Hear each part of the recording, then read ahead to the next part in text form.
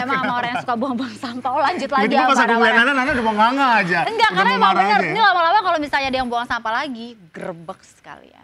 Digerebek. Iya, kayak informasi sambungin dong. Kita kan mau Iya, ngomongin iya, iya. grebek Jadi sampah. gini, sebenarnya kan tanggal 21 Februari itu diperingatkan, eh, diperingati sebagai Hari Ah, Peduli Sampah, oh gitu. begitu kan. Memang kita harus eh, peduli sih sampah-sampah di sekitar kita. Iya, Simple, kayak bener. Nana yang sering ingatkan kalau ada sampah makanan Anda, belum ada tong kantongin. sampah, kantongin dulu. Kantongin dulu, Mana nggak tahu bisa diolah, kita kan sering menampilkan tuh hasil-hasil karya sampah yang diolah kan, dari Iya. sampah-sampah plastik yang coba kita lihat nih. Oke, ini dia.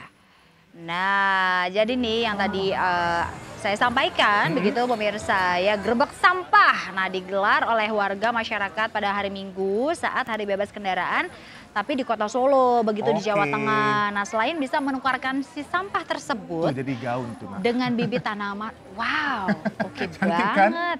Jadi ada beberapa eh, macam produk begitu ya dari bahan-bahan bekas seperti ada busana, ada kerajinan begitu, kemudian banyak barang-barang lainnya dari sampah yang dipamerkan ini. Begitu. Jadi tidak hanya menukarkan dengan bibit tanaman kayak cabai, kayak sayuran, warga juga bisa menukarkan dengan bermacam-macam produk dari daur ulang sampah kayak tas, Hmm. topi, plastik, tempat tisu, hiasan, bunga. Begitulah ya. Tuh kan macam-macam, ada yang menghias jadinya bagus kan, itu dari sampah semuanya. Ya.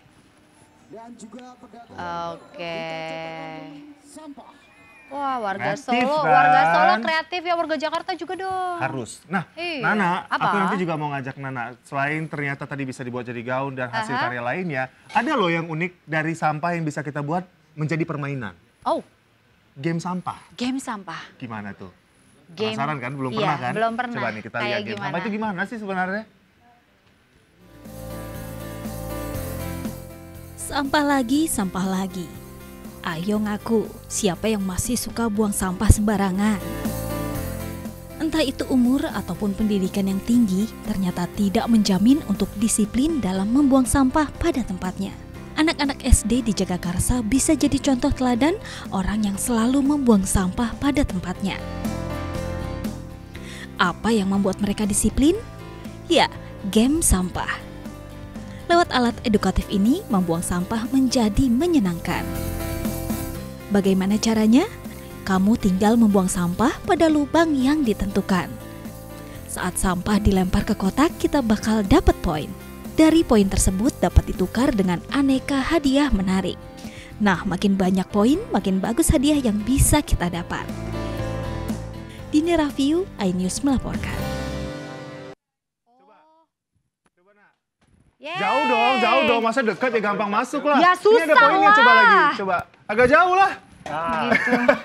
Terus poinnya Nanti dapat boneka atau ada hadiahnya nih, Mas? Iya, eh, kalau untuk ini dapat hadiah. Aduh ya ampun kok dia jadi buru-buru sih. Nih. Jadi kita sekarang main game sampah dan sekarang sudah ada Mas Dede di sini. Mas, Mas Dede, ini Dede adalah nih. yang menemukan inovasi game Wow. sampah ini. Nah, tuh coba. Nana lagi Keren masukin banget. sampah apalagi Eh, main game. salah, salah. Curang tuh caranya kayak gitu. Ya dapat poinnya gede lah. Terus jadi gimana? Tadi soalnya si Udah, Ade udah. itu udah ya. Sini-sini ngobrol dulu sama Mas Tanggung Dede. tanggung dikit lagi. Nah, jadi ini dia inovasi yang dibuat sama Mas Dede. Ya, jatuh. Boleh sini Mas? Kita ngobrol-ngobrol. Ini game sampah. Nana, udah. Eh, dah, dah, dah habis. Oke, ini gimana sih sebenarnya kepikiran buat Nih, Mas. inovasi sampah yang dijadikan game ini? Ya seperti yang sekarang sudah terjadi ya, maksudnya banjir itu Sekarang di seperti sudah mana-mana ya. terjadi. Jadi. Maksudnya salah satu penyebab banjir kan tentunya sampah ya. Sampah. Nah, maksudnya dibuat game seperti ini biar anak-anak merespon mengubah pandangan anak ya supaya dia lebih gemar buang sampah aja gitu. Oh, Oh, jadi Jadi bisa ngurangin Oh. sampah gitu. Baik. Tapi ini ada eh, mungkin kan biasanya orang kalau main game harus ada dong misalnya dapat apa hadiah atau apa gitu oh ada. iya, biasanya hadiahnya apa, Mas? Eh, perlengkapan sekolah sih. Perlengkapan Iya. sekolah. Kita di sekolah itu kita coba buat perlombaan ngumpulin sampah sebanyak-banyaknya itu yang Hmm. nanti dan da- dia dapat poinnya tertinggi dia yang dapat hadiah yang oke. banyak. Jadi ini sering dibawa ke sekolah-sekolah begitu. yang yang ada di disasar yang disasar Oke. adalah memang eh, anak-anak iya. sekolah gitu Iya. ya. Jadi mereka memang dari dari dalamnya nanti ngerti kalau misalnya oh sampah tuh memang sudah seharusnya adalah dibuang ke tempatnya yang Iya. seharusnya Betul, gitu ya Mas seperti ya. yang dibuat tadi. Contohnya Tapi kayak gini. Unik loh nak, jadi ternyata ini pas itu Nana masukin sampah ada Ha-ha, poin yang ada poinnya. Iya, Itu bertambah. gimana caranya? Sensor sih kita pakai sensor. Oh pakai Pakai sensor. Jadi Oke, pas baik. eh, sampah masuk, terus tambah poinnya. Iya. Gitu. Jadi Dengar-dengar kalau kalau ini tadi ada teman saya yang bilang kalau main game ini dapat duit juga.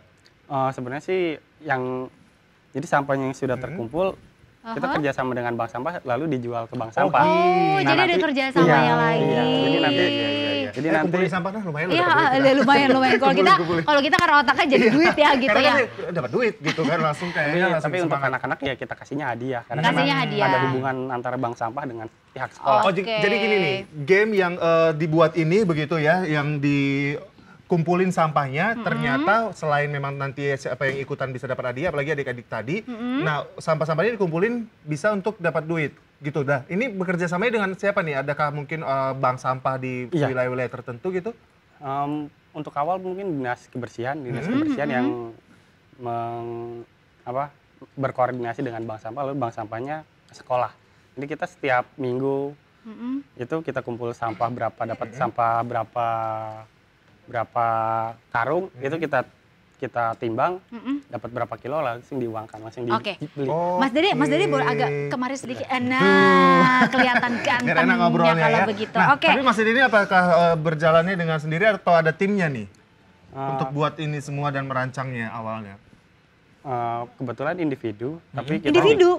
Eh, tapi ini kita sendirian bikin ini. Iya, tapi kita Oh. kerjasama dengan beberapa Instansi juga. eh, komunitas Komunitas. Ya, Oh, komunitas kebersihan. Kenapa Mas Dede punya pengalaman buruk gitu? Tong sampahnya nggak habis-habis begitu misalnya kan sampahnya Iya, karena nggak sih? diangkut-angkut. Kenapa? Kenapa? Kok berhubungan dengan tiba-tiba sampah? sampah Eh, gitu? Sederhana sih waktu di kontrakan waktu itu, Heeh. jadi ada anak-anak buang sampah sembarangan. Kesel ya Mas? Iya, lalu- Saya juga. Lalu eh, ada ibu-ibu tukang dagang di situ Hmm. yang dia berjualan di situ. Ya dia yang harus susah yang harus bersihin. Oh, Bener. oke. Ini ta- Wujud tapi sebenarnya Nak. wujud kepedulian. Tapi memang eh, bukan emang compare sih, tapi mungkin Mas Dedi juga tahu gitu Hmm. ya informasinya. Kalau misalnya kita ngelihat mental men- eh, mental orang-orang yang ada di luar sana, naruh sampah, buang sampah tuh kayak udah Iya. dari da- dari diri sendiri. Nah, kalau Mas aja, kan.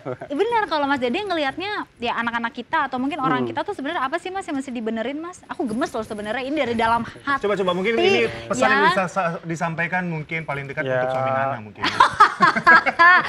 Dia sebut merek nggak apa-apa. Kamu jangan gitu lagi sayang ya. Nah, Terus Apa nih pesan buat yang banyak lah Yang semuanya banyak, yang eh, eh. jangan buang sampah sembarangan gitu. Ya, yang pasti untuk merubah hal itu kan merubah mental dulu Iya. ya. Nah, dari mental itu kita kita yang kita ubah pandangan dulu Mhm. dan Mhm. sasarannya yang paling tepat ya anak-anak.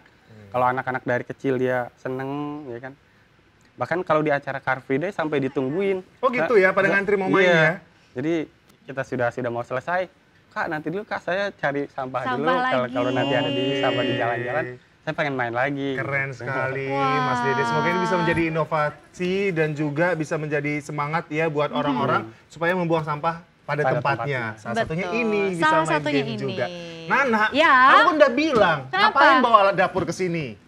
Oh iya. Ini di belakang apaan? Ini biasa. Kalau misalnya di rumah nggak kepake, aku mainin sendiri, Tuh di kan gitu. mulai nih kayak gini nih ya bawa-bawa alat dapur. Mas Dede terima kasih ya. Nanti kita kembali lagi. Nah tuh kan rusuh deh. Jangan bawa gituan dong. Mas, eh, Mas Rama, Mas Rama nggak usah ya. Aku aja dari sini ya. Oh coba Nana, ini Oke. dia Nana ya. Nanti kita kembali lagi pemirsa.